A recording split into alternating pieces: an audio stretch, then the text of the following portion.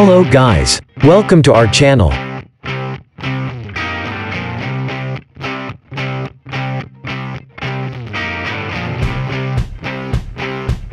In this tutorial, we will see how to insert table in Microsoft 365 Word document. Without any delay, let's get start. Firstly open the Microsoft 365 Word document in which you want to add a table. Place the cursor where you want to insert the table.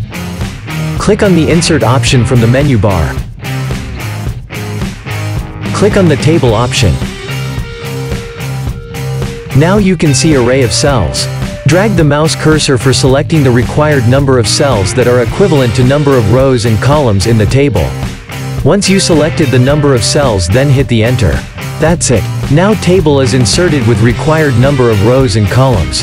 This is the procedure for inserting table by selecting number of cells. Now we will see another procedure for inserting table. In this method we will see how to insert table with help of insert table option. Place the cursor in the place where you want to add a table. Click on the insert option.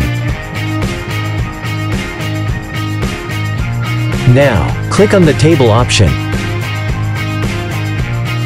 Click on the Insert Table option which is placed at the bottom of the cells array. When you click on the Insert Table option then Insert Table dialog box will appear on the screen.